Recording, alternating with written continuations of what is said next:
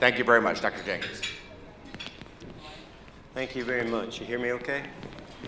So, number one, I'm an interventional cardiologist, and two, I never dreamed that I would be speaking to uh, people in this capacity that uh, perform cardiac surgery because what I do for a living is try to prevent people from having to be treated by you guys. So, in that respect, I first have to tell you a little bit about the history, epidemiology. I'll show you a few slides on uh, the AngioVac uh, device, and then I'll show you how it came into our hands and what we use it for. So that means I need to give you a little bit of update on venous thromboembolism. I proctor and speak for a couple of companies, none of which has anything to do with this talk. Now, if you look at the epidemiology of venous thromboembolism, it occurs in one per thousand per year in the U.S., of which two-thirds have DVT alone. Approximately a third of them have pulmonary embolism associated with it. It's responsible for a quarter of a million hospital admits per year, of which 30% die within a month, 30% have recurrent venous thromboembolism within 8 to 10 years, and if you have pulmonary embolism associated with that, you have an extremely high mortality. It accounts for, if you count first time and recurrent venous thromboembolism, that's roughly a million people per year in the US. That incidence has not changed over the last 25 years. And if you compare those to age and gender match controls, people who have clots and thrombus have a much higher mortality rate. It is the number three killer in the United States of America. Now, it comes with a host of consequences. Uh, the post-thrombotic syndrome, and I will not regurgitate that list, which is uh, the main thing that we do as interventionists to try to remove this thrombus, the chronic thromboembolic pulmonary hypertension, and then this increased associated mortality. In this New England Journal article published by Pango in 2004, he followed 355 patients who had first-time venous thromboembolism for eight years, and they had a 30% incidence of recurrence of this disease within that eight years of follow, a 30% uh, incidence of post-thrombotic syndrome, and a 30% incidence of death. So if you learn nothing today about the AngioVac device or any of these other perfusion technologies, just remember the number 30% because that's the only number I've mentioned. And if you're ever asked a question about venous thromboembolism, the answer is 30%. Now, that costs the U.S. healthcare dollars roughly $1.85 billion per year to care for treatment of this disease and for the long-term quality treatment, et cetera. The standard treatment options that I've had in my armamentarium in the past have been pharmacologic, I could anticoagulate or give thrombolytics, and then the mechanical, such as sticking tiny catheters in these large vessels with clot in them, or asking a surgeon, which as I told you, that's the other side that I try to prevent people to go to, to do pulmonary embolectomies. Now, if we look at evidence-based guidelines from uh, the American College of uh, Chest Physicians, uh, European College of uh, uh, Society of Cardiology, the Society of Interventional Radiology, they traditionally have had guidelines that have only addressed our acute and chronic therapies for this disease, such as the anticoagulation, how long, what to give, how to follow them, etc. They've given absolutely zero guidance until they've been all updated in the recent year or two for guidance in how we could treat these people with the more invasive interventional techniques. Now, recognizing that void in the literature, the ACC/AHA has never had guidelines until March of 2011. And recognizing that void in the literature, they published guidelines. So I want to briefly go over those. Then I'll tell you about the few slides on AngioVac and go from there. Now, I was actually on this writing committee, so I think that uh, qualifies me to tell you about these guidelines. If the guidelines that we have as invasive people that you'll be supporting to use this device do what we call catheter-directed thrombolysis or pharmacomechanical catheter-directed thrombolysis. And we have guidelines now to follow for that. And those guidelines are, if you have limb-threatening circulatory compromise, that is the highest level of indication, a class one indication, which means the benefit is greater, greater, greater than the risk of performing the procedure. For some sort of treatment for thrombus removal. If you are a patient who presented an institution that has no expertise in this, it's a class one indication to then transfer you to a center that does. And it's also an indication for this treatment if you have uh, deterioration despite anticoagulation. It is considered a frontline indication to prevent these long-term sequelae of post-thrombotic syndrome. It is contraindicated for uh, systemic fibrinolysis for treatment of this disease unless you have it from in your pulmonary vasculature or cardiac structures. And if you have thrombus that's greater than 21 days of age, then it's contraindicated because you have had fibrocyte ingrowth, organization, and you no longer have jello. You basically have rubber bands, etc., that are very difficult to remove with techniques that an interventionalist would use. Now, we've traditionally divided it into proximal and distal DVT, which is woefully inadequate for the purposes of determining who should be treated with an invasive procedure versus a more conservative procedure. That division, and, and proximal and distal is divided at the knee traditionally in our literature. But instead, we should make that division at the level of the common femoral vein. And the reason for that is that the common femoral vein obstructs not only your God given primary outflow to drain your lower extremities, but it also uh, occludes any possible collateral pathway that can drain your lower extremity. So, from common femoral and up, then an invasive technique such as this is appropriate. The common femoral and below, uh, the more uh, conservative territory, you should consider uh, more conservative measures uh, not devices like this, not catheter-directed thrombolysis, et cetera. You could give medical therapy and do just fine. Now, what we've been faced with as someone in my position is that a typical case of this requires balloon angioplasty, multiple modalities, uh, mechanical thrombectomy, catheter-directed thrombolysis, lots of stents, uh, lots of time, lots of expensive stay in the ICU, et cetera. So something that would do this quickly and remove it versus a 48, 72 hour ICU stay with uh, drips in and bleeding all over the bed, et cetera, would be much favorable. So that's where this AngioVac device comes in. And not only does it treat uh, large objects, uh, debris, clot, et cetera, in cardiac structures, it does it in the iliac veins, uh, you can put it in the inferior vena cava, uh, and you can go out into the pulmonary vasculature with it. The device has uh, a set of uh, uh, tubes and connectors and hoses that are thrown towards you guys.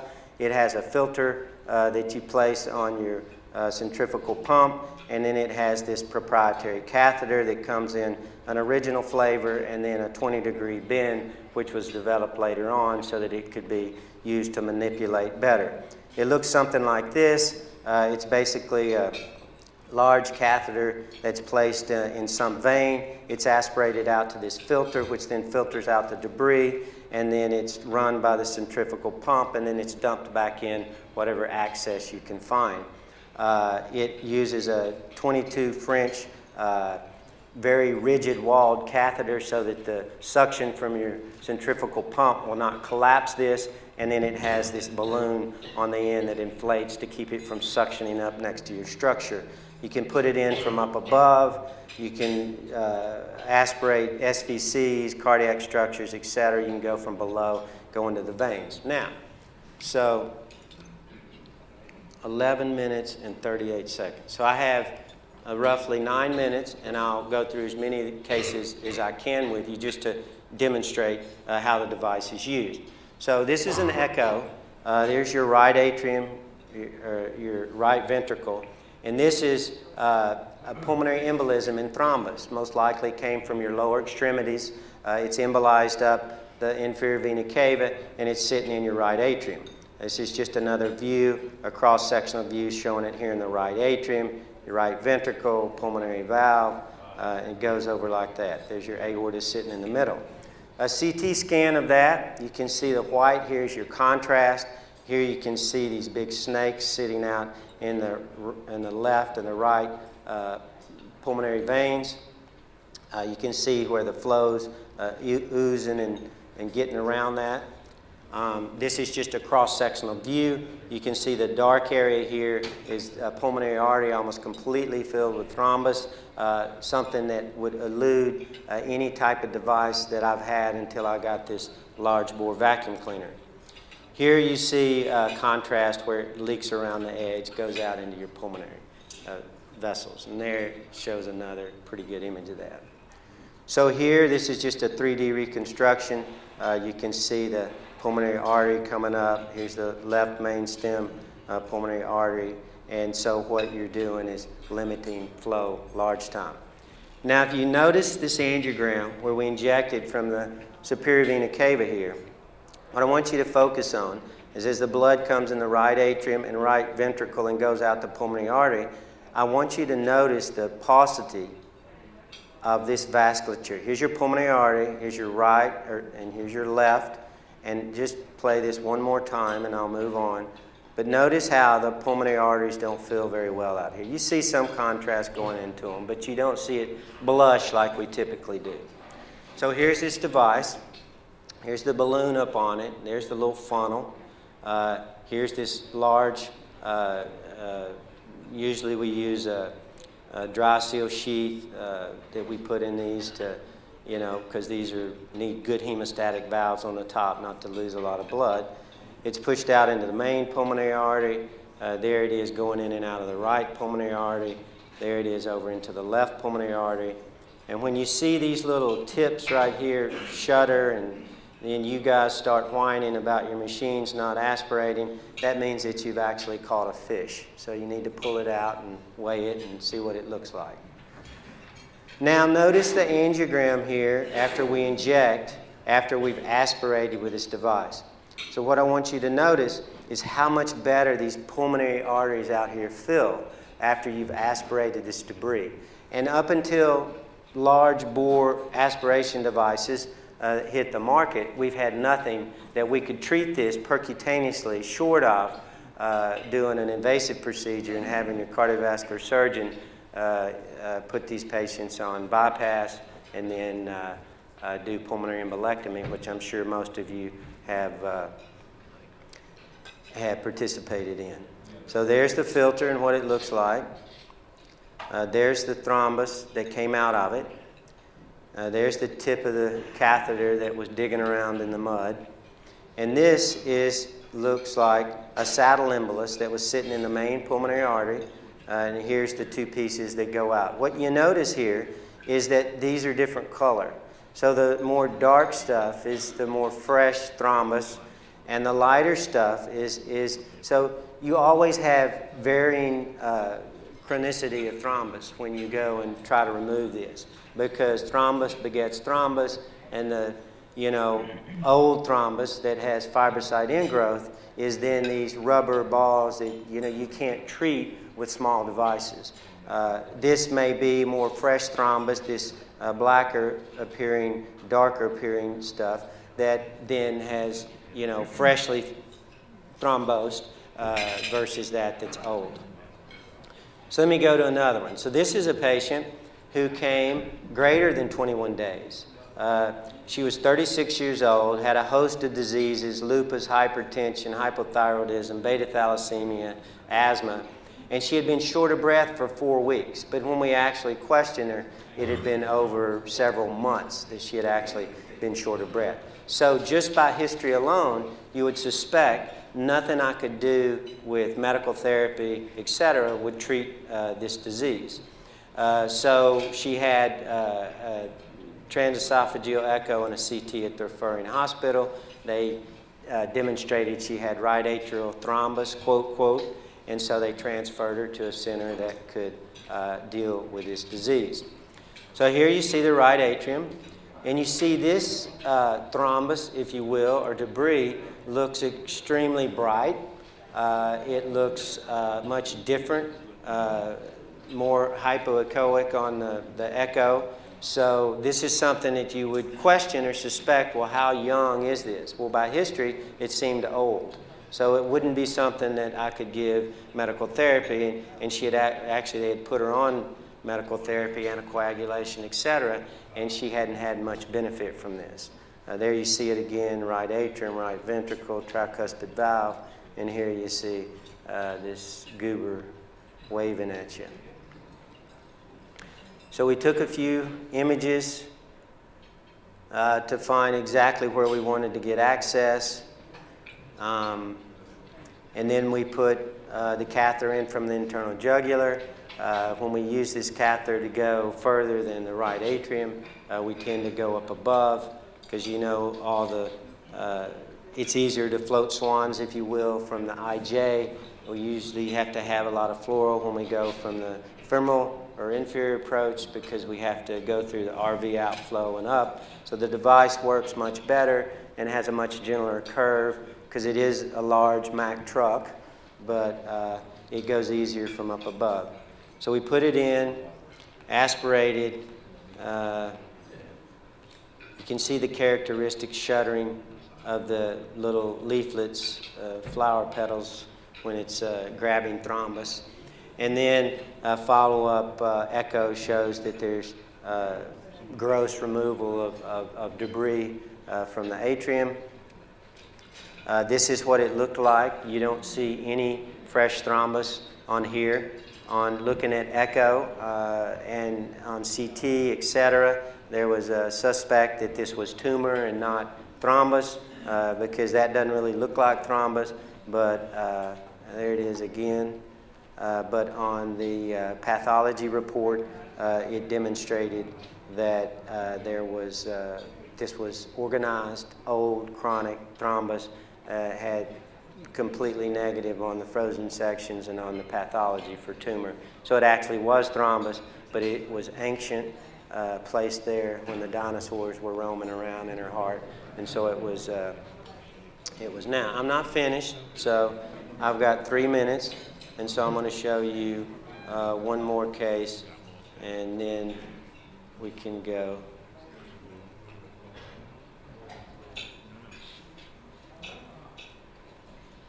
So this is a case of a patient who uh, had a VSD. They were 62, had an infarct uh, four days before.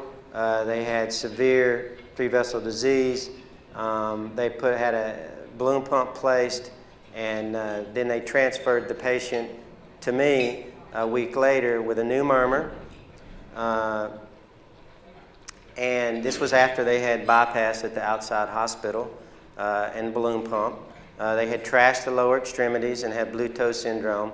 And they did an echo, and this patient had developed a large ventricular septal defect. And they were too sick at that point, already had their chest entered once uh, to get uh, a repeat surgery, and it was fresh meat that was infarcted. So surgeons, as you know, don't like to cut on that. So uh, the thoracic surgeons asked if we could close it uh, with uh, percutaneous technique. So to do that, to close VSDs, I have to go from the superior vena cava. Now this patient had been in ICUs, had bypass, had anesthesiologists and residents or physicians, whatever, had placed IJs that had been indwelling for some time. And so I went to put the VSD device in and I looked at the superior vena cava, and that's what there was. Now, I'm, I don't know, I don't want to say I'm bad. I'm pretty good. I might could do this from inferior approach, from the, from the inferior vena cava, but it would, is not always successful. So I wasn't willing to do that. I wanted to go from above. It's an easy uh, path to get to the RV, uh, go across to the LV through the defect and put the device. So I said, well, I need to pull this out and go from up above, so that's what I did. I, I went from below with the device because it was a straight shot, uh, and I didn't want to push it out and let it embolize, so I went from the inferior vena cava with this device, uh, aspirated uh, all of that thrombus out, we did it some more, took pictures, uh, I got this little, looks like what comes in a bottle of tequila, the little worm. So after we got through with that, uh, then I was able to go from up above with my catheters that I closed VSDs. Here's the LV, here's the RV.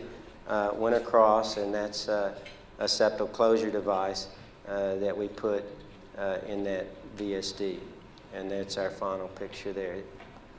It takes these uh, a little while to thrombose. This is a porous material, and it takes them, you have to get them off anticoagulation for them to completely thrombose, but good position. And this device allowed that patient to get their VSD treated. So, with that, I have 23 seconds for questions, and I'll end. Any questions? Well, Mike, Mike's here. Where's Jeff? Jeff here? Mike, Jeff's not here yet. Um, so Mike Brown and I are going to get do our first angiovac case uh, Monday. All right. Yes, so we're really excited about doing the simulation, and you know, I've been talking to these guys and learning about it for uh, a couple of years, and uh, finally we're going to do it. So, what are you removing? It's a, a, a, a inferior cava ilio uh, thrombus. So, the what you really want to do after you pull it out is you'll want to put it on a table and do your oohs and ahs and take pictures. And so, the most important thing you can learn about this device is how to take that filter and open it. You know how to do that? We're going to learn. We're going to learn today. It's with a great big hammer. Really? That's the way you open it. Mike, bring your hammer. All right. Thank you very much. Thank you.